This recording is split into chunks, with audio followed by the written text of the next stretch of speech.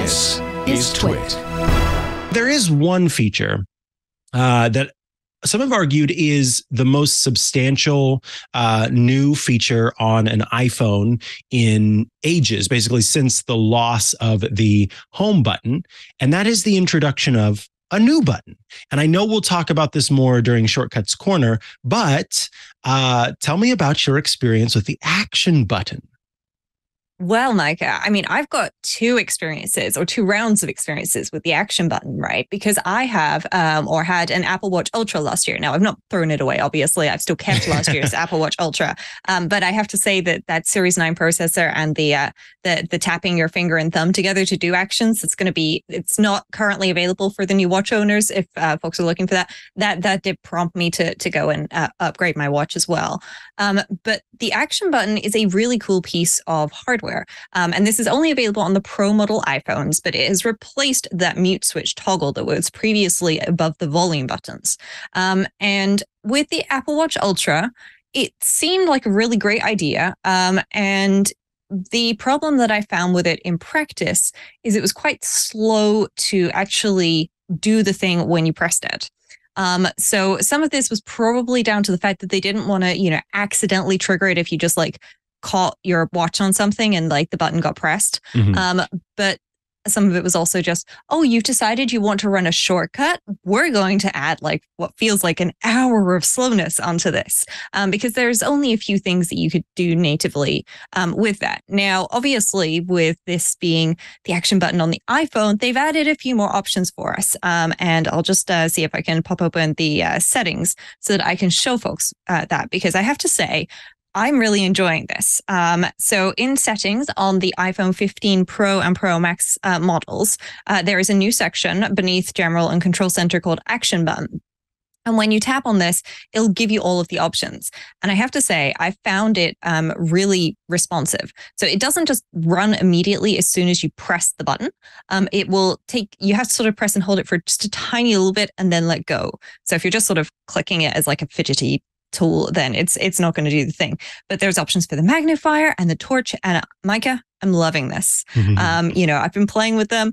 And uh, for folks who are watching the video, you might spot that I've got it selected as shortcut, and I've got a shortcut called iPhone Action Button. Um, and we're going to talk about that a bit in the shortcuts corner. But there's, I mean, obviously the default option, silent mode, is probably what most people want, and we'll just live with.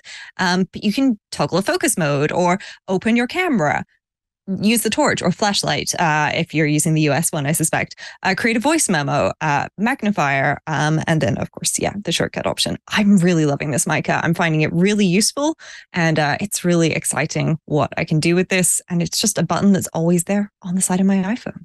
Yeah, it's it's a it's a nice little feature. Um, I currently have mine set for voice memo. Um, I originally I, I, knew that I didn't want to keep it on ring silent because I even in my iPhone 14, I mean, going back, I don't I never have that switch turned to anything other than silent. I don't mm-hmm. want mm-hmm. sounds playing, so I always have it vibrate. Um, so it was very easy for me to, uh, you know, hop in and change that away. Um, I'm going to change it to the shortcut button eventually, but mm-hmm. because I've, I've I've had some ideas that I've that have been inspired by some other folks, uh, including I'm sure uh, what you will show us what you've done with yours. But as it stands, the idea that I can almost make like a little uh, sort of pocket recorder is quite nice. And it mm-hmm. reminds me of using just press record on my Apple Watch, which is something that I do. Um, it is, I think, a really smart idea to make a button that can just do whatever it is that we want to do with it and that we don't have to have that waste almost of a button uh, that has existed thus far. Um, now, with that feature, uh, you will notice that the uh, that the sleep wake um, or not sleep wake but the the ring silent uh, alert icon appears in the top left corner mm-hmm. of the screen and some people were a little perturbed at having that appear there because they hadn't had it before so uh, a quick tip if you launch settings and then you choose sounds and haptics, you will see a new toggle in this section that says show in status bar. If you toggle that off, then you don't have to see the ring silent uh, option up in the top left corner. And then you can also toggle between silent mode and ring mode uh, by toggling on or off silent mode there in the sounds and haptics section as well.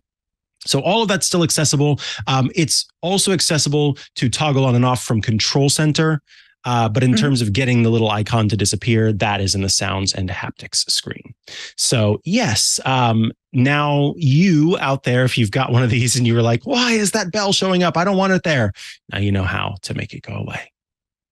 I'm Jason Howell. What do you get your favorite geek who already has everything? Well, I know just the thing. It's a Club Twit gift subscription, of course. Twit podcasts keep them informed and entertained with the most relevant tech news and podcasts available. And with a Club Twit subscription, they get even more. They get access to all of our podcasts ad free, the members only Discord, exclusive outtakes, behind the scenes, and special content, and exclusive shows like Hands on Mac, Hands on Windows, and the Untitled Linux Show. You can purchase your Geeks gift at twit.tv slash clubtwit, and they're going to thank you every day for it.